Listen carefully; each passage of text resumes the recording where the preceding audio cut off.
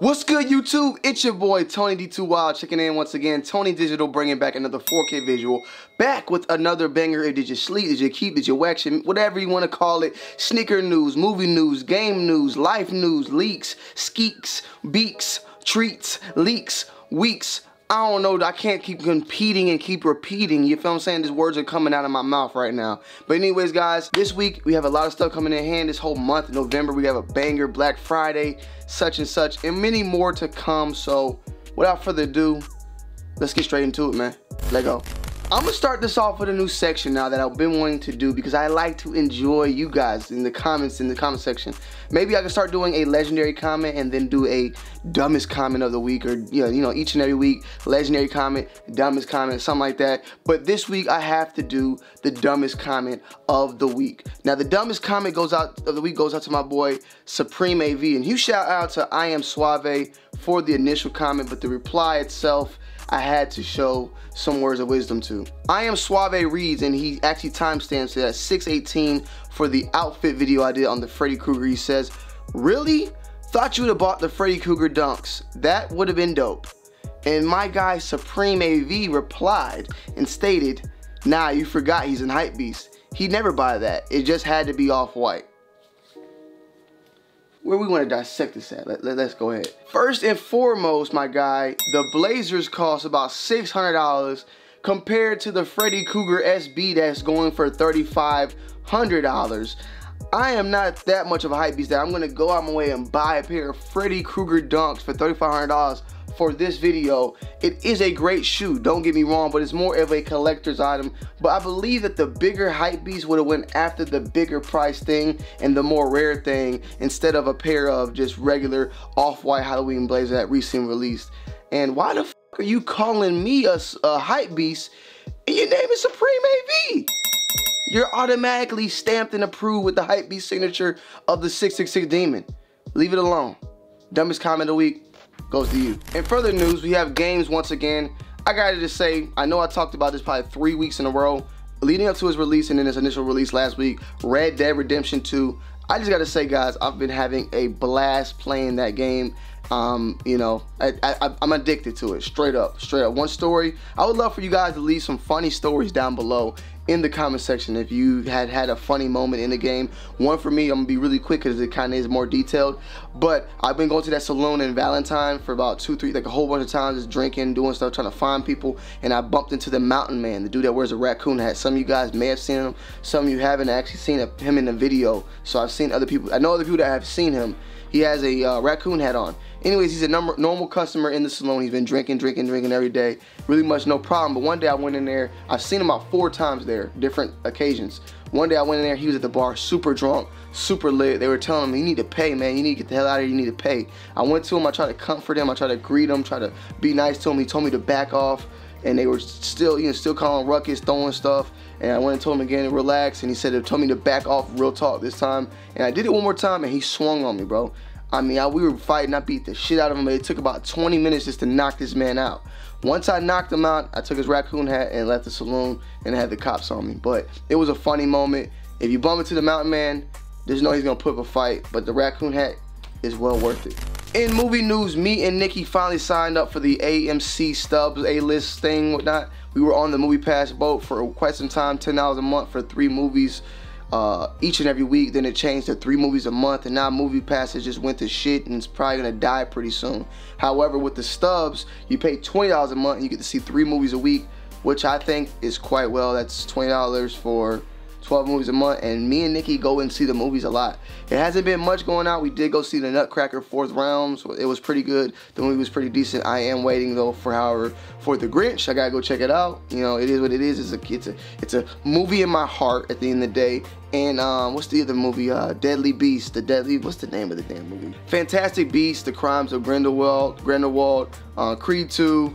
You know, Robin Hood. It's a lot of stuff. Spider-Man Into the Spider-Verse and even of course Aquaman. There's a lot of movies I want to see, so having that is a plus. Check it out if you got $20 to spare and you like to go see movies. I suggest you guys check it out.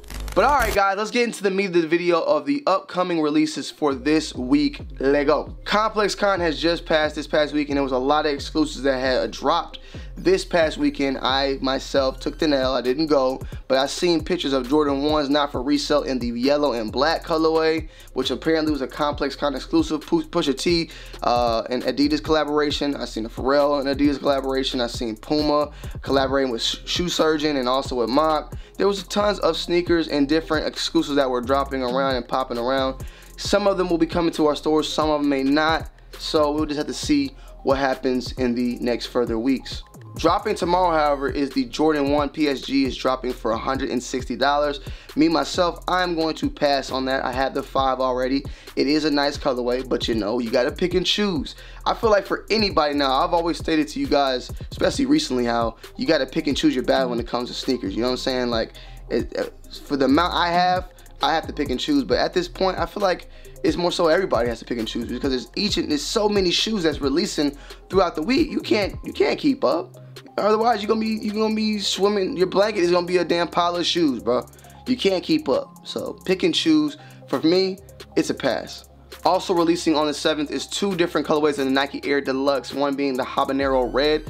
Yeah, Habanero Red, and I actually like that one more than the other. Retails $160. I like the Air Max Deluxe own one pair, the OG original pair. However, I may add some more to the arsenal down the road. The Habanero pair is definitely dope. The other one is dope as well, but I just prefer the Habanero one more.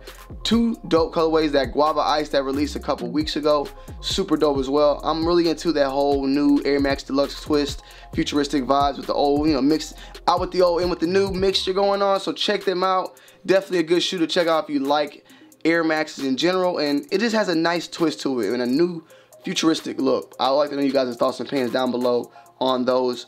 I like the habanero, but pick and choose, pick and choose. Apparently on the 7th, the Jordan 1 not for reselling the black and red is supposed to drop.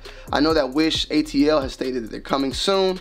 So there's a lot of like coming soon and a lot of dates floating around. I don't know if it's been solidified yet, but let me do a favor for you guys let me check on Nike sneaker app if there's an official release date. However, this is what I'm seeing on a lot of different other sites. So yeah guys, I looked on Sneaker News and Hypebeast and it's confirmed November 7th is the release of the sneaker. RIP to my grandfather. His birthday is also on the 7th. I know he's watching over me. But uh, also, and you know, stating other news, I don't, there was no, there was no information from SNKRS app. So maybe he's gonna be more so of a boutique release and then a general or worldwide release is coming in the near future, at least for SNKRS app and other sites like that. So stay tuned, but the 7th is the date for a lot of these boutiques to be copping. I know, like I said, Wish ATL may be getting them and a few other stores. So just keep your eyes peeled if you really want those. I think they're dope. Releasing on the 7th also is a Pharrell and Adidas collaboration on the NMD. I'm, I'm just kind of done with the NMD right now, especially the Pharrell collabs. I mean, it's been like 70 different ones. And this is like the first ones that came out, the like baby bluish, blue, whatever colorway that dropped, like a really, like navy blue way back in the day. Now it's just you know, just keeps going. Keep it, keep it flooding, keep it flooding, keep it flooding. I'm waiting on Adidas. I don't know. I'm looking forward to 2019 for them. I'm not hating on them at the end of the day. I love the brand. I love the stuff they're putting out, but these models, some I don't know. I don't know. They'll figure it out. They're a billion dollar industry. They'll figure it out. Also, another Ultra Boost with a multicolored tip. I actually have actually seen this one before. I don't know if this is the multicolor also. I know the multicolor usually is in the back, like the multicolor 1, the multicolor 2.0, all that. But there's a multicolor uh, Ultra Boost that's dropping on the 7th that has it around the, on the 8th at my bad, so around the tip of the shoe.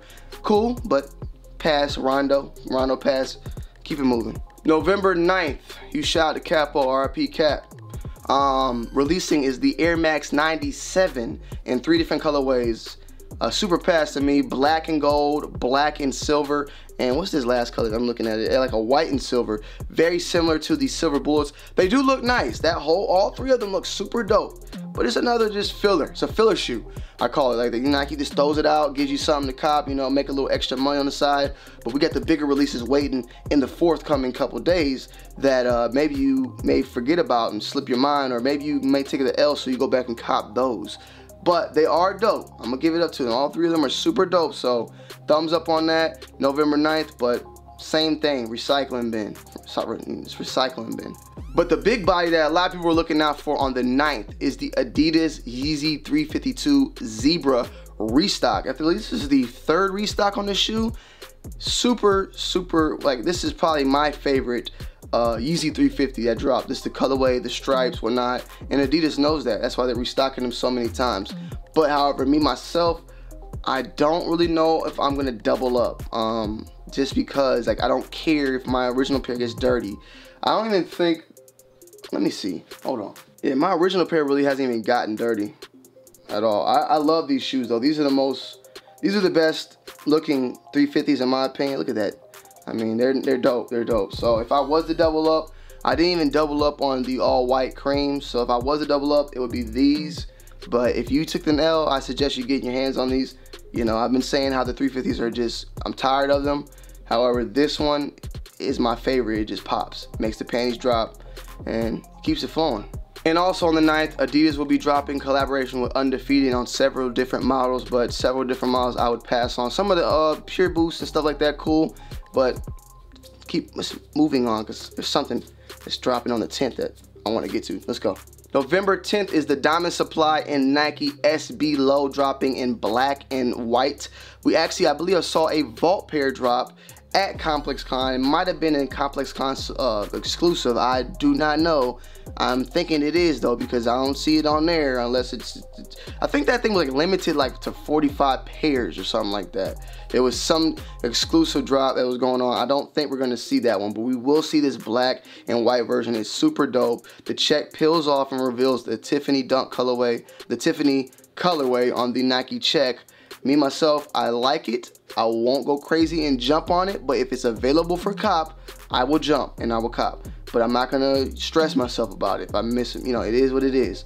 But super dope shoe, the 10th. I believe that Nike has the winner this week with that one. So keep your eyes peeled and uh, keep it ready. And, and in further weeks, I may update this guys on how to cop them, where to cop them, or where they'll be at. So you guys can stay up to date on that because I know a lot of you guys will probably go after that one. On the 10th for Jordan brand, they'll be dropping the Jordan 3 Chlorophyll. And these are cool. They're cool. I actually saw them early in the year, um, a couple months ago, I showed a video about them.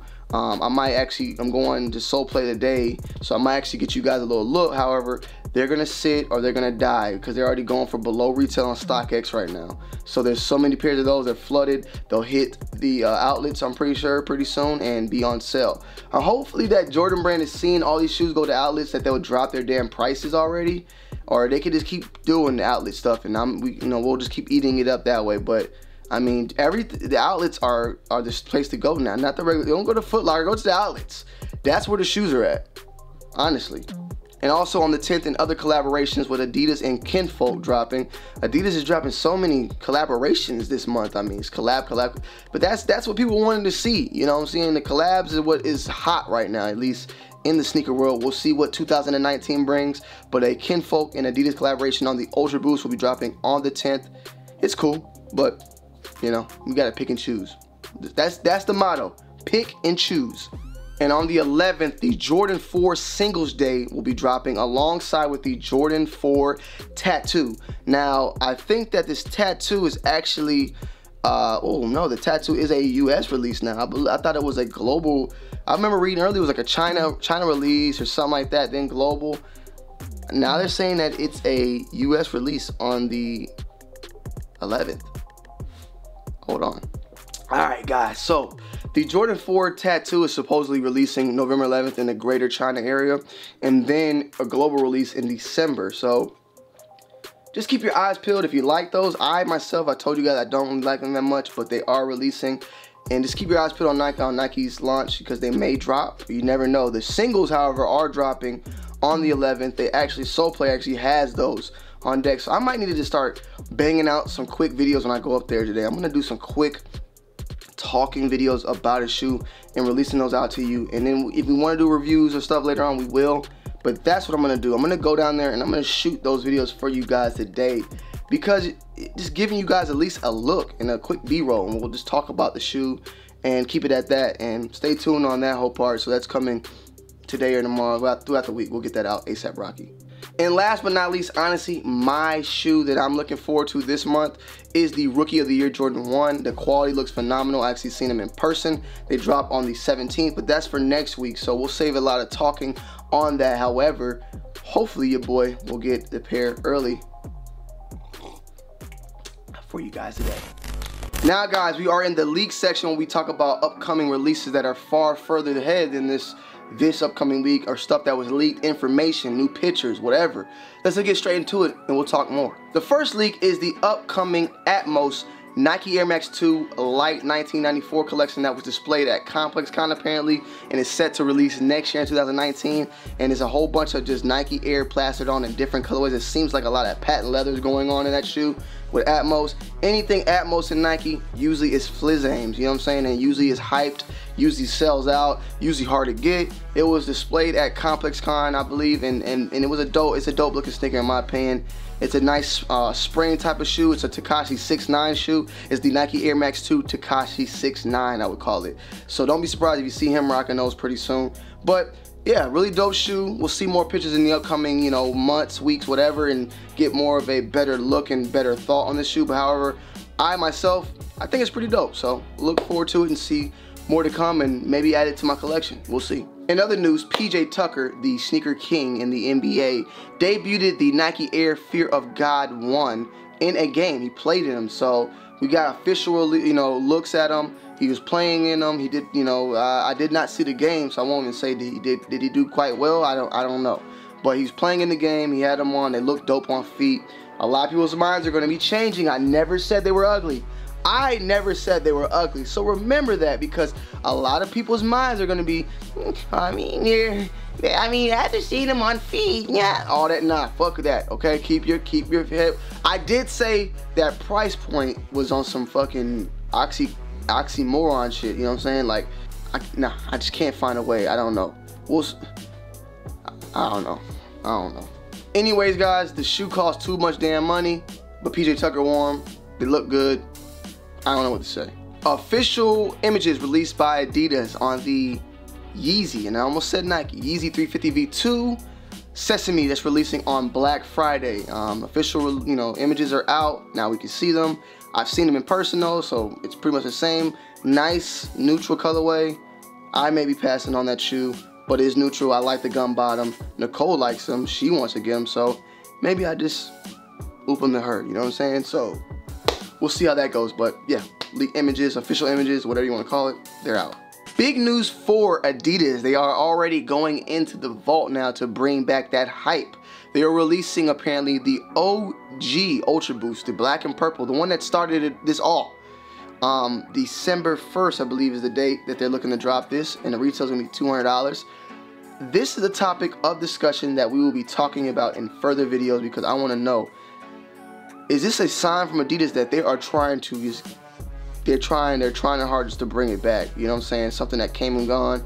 And what made it die out? Was it the hype? Was it kanye? Like i want to talk about this more in an upcoming video we will talk about because you know like look at it from a different span like yeah jordan does this all the time. Jordan's been doing this we i understand.